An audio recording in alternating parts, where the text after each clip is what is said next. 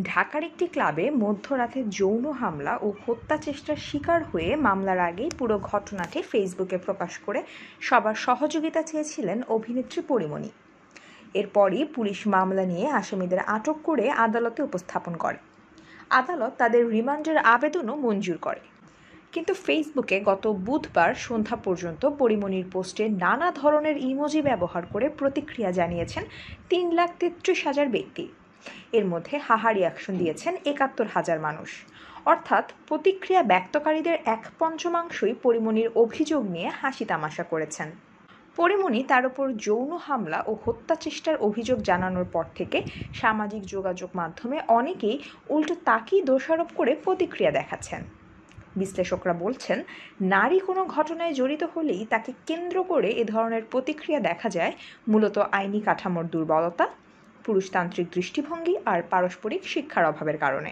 সামাজিক যোগাযোগ মাধ্যমের সক্রিয় একজন ব্যবহারকারী আহমদ মমো বলছেন, এ ধরনের ঘটনায় শুধু লাইক দিয়ে বা হাহা রিয়াক্ট দিয়েও অনেকে ক্ষান্ত হন না, বরং নোংরা ভাষায় আক্রমণ করেন ভিকটিম নারীকেই। তিনি বলেন, শুধু ধর্ষণের ঘটনা দিয়েই উদাহরণ দেয়া যায়। একটি মেয়েকে ধর্ষণের শিকার করা হলে তাকে বরং দোষ দেয়া হয় যে ও কেন সেখানে গেল। মেয়েটা কেন ছোট পোশাক পরল? এভাবে নারীকে দোষারোপ করতে গিয়ে তারা মূলত অপরাধটাকেই সমর্থন করে বসেন। বাংলাদেশে সাম্প্রতিক সময় এ ধরনের মনোভাব প্রকাশকারীর সংখ্যা যেমন অনেক বেশি চোখে পড়ছে, যারা কোনো রাগঢাক না করেই কোনো ঘটনায় আক্রান্ত নারীকেই পাল্টা দোষারোপ করছেন, যাকে ভিকটিম ব্লেমিং বলা হয়। আর সামাজিক যোগাযোগ মাধ্যম যত বেশি জনপ্রিয় হচ্ছে, তত বেশি এ ধরনের প্রবণতা বাড়ছে। তবে আইনজীবী মিতি সানজানা বলেন, এই দৃষ্টিভঙ্গি আগেও ছিল, তবে এখন আরও বাড়ছে, আর এই বড় কারণই হলো পারিবারিক শিক্ষার অভাব। তিনি বলেন পুরুষতন্ত্রকে প্রতিষ্ঠা করতে সব প্রতিষ্ঠান, রাষ্ট্রীয় আইন, সমাজ ও পরিবারকে ব্যবহার করা হয়। অবশ্যই এটি পারিবারিক শিক্ষার ব্যাপার। যত আইন থাকুক না কেন, আপনি একজন নারীর সাথে কী ধরনের আচরণ করবেন তা আইন দিয়ে শেখানো যায় না। পারিবারিক মূল্যবোধ ও শিক্ষার ব্যাপারটি এখানে জরুরি। সন্তানকে জেন্ডার সংবেদনশীল হিসেবে গড়ে তোলা শুরু হয় পরিবার থেকে, তারপর শিক্ষা প্রতিষ্ঠান বা রাষ্ট্র। কিন্তু প্রথম শিক্ষা পরিবার থেকেই শুরু হয়। সে জায়গাতেই অনেক গ্যাপ রয়ে গেছে। অর্থাৎ আগেও অনেকে এ ধরনের মনোভাবই পোষণ করতেন নারীদের নিয়ে, কিন্তু সেটি প্রকাশ করার সুযোগ পেতেন না।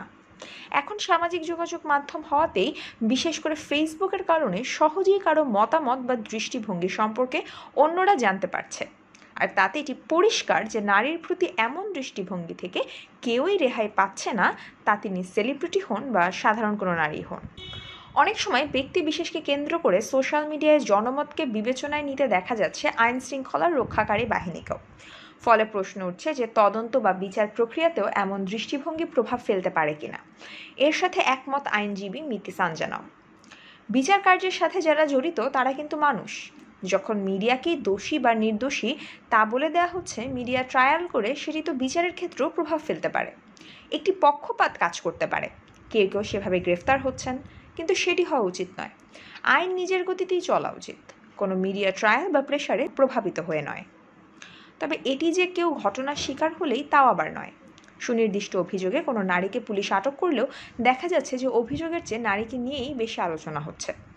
করোনা বিষয়ক দুর্নীতির অভিযোগে আটক হওয়া ডক্টর সাবরিনা চৌধুরীর ক্ষেত্রে এটি দেখা গেছে সামাজিক যোগাযোগ মাধ্যমে। আবার একজন নারী সাংবাদিককে নিয়ে তত্ত্বাবধায়ক সরকারের সাবেক একজন উপদেষ্টার আপত্তিকর বক্তব্য নিয়ে শোরগোলের সময়ও অনেকে ওই নারীকেই আক্রমণ করে মন্তব্য করেছিলেন অনেকে। একইভাবে সাবেক সেনা কর্মকর্তার স্বামীর কারণে আলোচনায় এসে বাজে আক্রমণের শিকার হয়েছিলেন টিভি উপস্থাপক ফারজানা ব্রাউনিও। কিন্তু কেন সবসময় নারীরাই এভাবে আক্রমণের শিকার হন? জবাবে ঢাকা বিশ্ববিদ্যালয়ের অপরাধ বিজ্ঞানের শিক্ষক ফারজানা খন্দকার বলছেন, ভিকটিম ব্লেমিং অনেকের চারিত্রিক বৈশিষ্ট্য হয়ে দাঁড়িয়েছে। পাশাপাশি আইন কাঠামোর দুর্বলতা এটিকে উৎসাহিত করছে। ক্রিমিনাল জাস্টিস সিস্টেমেও কিন্তু ভিকটিম ব্লেমিংয়ের সুযোগ থেকে যায়। বাংলাদেশে এগুলো পলিটিক্যালি মোটিভেটেড হয়ে যায়। একটা নির্দিষ্ট শ্রেণি থাকবে যে তাদের দিয়ে একটা ভাইভ তৈরি করা হবে। একটা মানুষের সাথে কি অপরাধ হয়েছে বা একটা মানুষ কি অপরাধ করেছে সেটা চিন্তা না করেই অতীতের ওপর ভিত্তি করে তার বিরুদ্ধে বা পক্ষে জনসম্মতি বা জনরোষ তৈরি করতে চাই। এটা বাংলাদেশের মিডিয়া কালচার হয়ে গেছে আর সাধারণ মানুষ এটা আগে থেকেই চর্চা করে। তবে শুধু সেলিব্রিটিরাই নন, অনেক সময় এমনকি ই কমার্সে জড়িত থাকা নারীরা তাদের নানা পণ্য নিয়ে ফেসবুক লাইভ করেন কিংবা অনেক গণমাধ্যমেও নিয়মিত ফেসবুক লাইভ করে সংবাদ বিশ্লেষণের মতো নানা আয়োজন হয়ে থাকে। লাইভ এসব অনুষ্ঠানের কমেন্ট সেকশনেও অনুষ্ঠানের বিষয়বস্তু বাদ দিয়ে অনেকে আগ্রহী হয়ে ওঠেন উপস্থাপক নারী ও তার পোশাক নিয়ে। ঢাকার ইংরেজি দৈনিক দ্য ডেইলি স্টার থেকে এমন একটি অনুষ্ঠান ফেসবুকে লাইভ করা হয় যার উপস্থাপনা করেন পত্রিকাটির নারী সাংবাদিকরাই। এর একজন উপস্থাপক নাজিবা বাসার বলেছিলেন যে তিনি নিজেই প্রতিটি পর্বেই কী ধরনের পরিস্থিতির শিকার হন। আমাদের ভিডিওগুলো ফেসবুকে আপলোড হওয়ার সাথে সাথেই অনেকে দেখেন। কিন্তু যারা দেখেন, তাদের বেশিরভাগই কমেন্ট করেন, তারা নিউজটা দেখছে না। তাদের মাথা ব্যথা হলো আমার পোশাক। আমি ওড়না পরিনি কেন? এসব নিয়েই বেশি কমেন্ট হয়। যেই বিষয়টা নিয়ে আলোচনা করি, সেটা নিয়ে কমেন্ট সেকশনে আলোচনা খুবই কম হয়। যারা কমেন্ট করেন, তাদের বেশিরভাগই দৃষ্টিভঙ্গি একই। তারা উদ্বিগ্ন যে মেয়েটা কি করছে বা মেয়েটা কেন শো করছে। তবে এটি শুধু বিশেষ কোনো ঘটনা বা ইস্যুতে এখন আর সীমাবদ্ধ থাকছে না। নারী এমনকি মেয়ে শিশুদেরও নানা ধরনের কটুক্তির শিকার হওয়ার প্রবণতা বাড়ছে। এমনকি অধ্যাপক ডক্টর আনিসুজ্জামানের মৃত্যুর শোক জানিয়ে পোস্ট দিয়ে আক্রমণের শিকার হয়েছেন ঢাকার একজন সুপরিচিত অভিনেত্রী জয়া আহসান।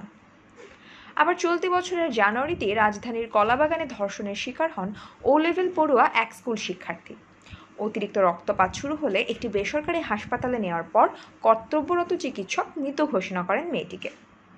ঘটনাটি প্রকাশের পর ধর্ষণ ও হত্যা মামলার প্রধান আসামি অপরাধী কিনা সেটি আদালতে নির্ধারণের আগেই সামাজিক মাধ্যমে একদল ব্যক্তি দোষারোপ করতে শুরু করেন ভুক্তভোগী মেয়ে ও তার পরিবারকে।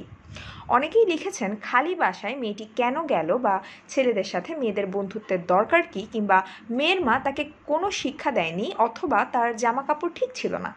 এমন সব মন্তব্যে সয়লাভ হয়ে যায় সামাজিক যোগাযোগ মাধ্যম। কিন্তু বাংলাদেশের সমাজ ব্যবস্থায় হঠাৎ করেই এ ধরনের দৃষ্টিভঙ্গি এতটা বেড়ে গেল কেন?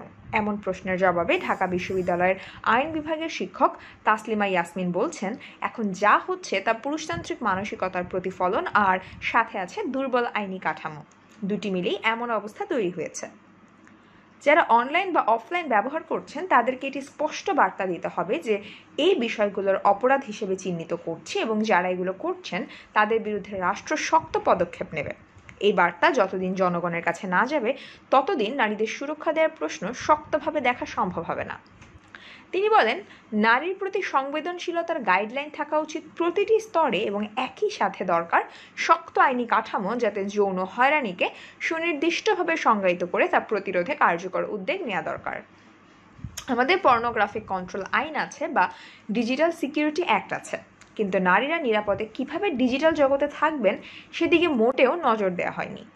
আইন কাঠামোতে আসলে চিহ্নিত করা দরকার যেগুলো যৌন হয়রানি এবং এগুলো করলে তা হবে অপরাধ।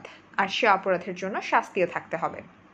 বাস্তবতা হলো, নারীকে হেয় প্রতিপন্ন করে প্রতিনিয়ত যেসব মন্তব্য বা আচরণ দেখা যাচ্ছে, বিশেষ করে সামাজিক যোগাযোগ মাধ্যমে, সেগুলোর যেমন কোনো প্রতিকার দেখা যায় না, তেমনি নানা ধরনের ধর্মীয় সভা সমাবেশে নারী সম্পর্কে নেতিবাচক মন্তব্য নিয়েও কাউকে সরব হতে দেখা যায় না।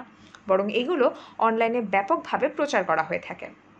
বেসরকারি সংস্থা আইন ও সালিশ কেন্দ্রের নীনা গোস্বামী বলেছেন, পুরো বিষয়টির সাথে জড়িত আছে পুরুষতান্ত্রিক দৃষ্টিভঙ্গি।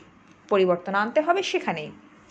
তিনি বলেন, সমাজে যে মানসিকতা পোষণ করে তারই একটা বহিঃপ্রকাশ। নারীকে কোনো দৃষ্টিতে দেখছে এবং কোনো কিছু হলেই যেন সবই নারীর দোষ। ভিকটিম হলেও, আবার অভিযুক্ত হলেও। সেটা নিয়েই বেশি আলোচনা হতে দেখা যায় বা মিডিয়ায়ও তা হাইলাইট হয়। সামাজিক মাধ্যমে সেটা নিয়েই বেশি আলোচনা হয়। অর্থাৎ নারীর প্রতি এমন দৃষ্টি বাংলাদেশের সমাজের গভীর থেকে আসা, যা থেকে বের হতে একদিকে যেমন যথাযথ শিক্ষার দরকার, তেমনি দরকার শক্ত আইনি কাঠামোর যাতে নারীকে নারী হবার কারণে হেয় প্রতিপন্ন করে কেউ যেন সহজে পার না পেতে পারে।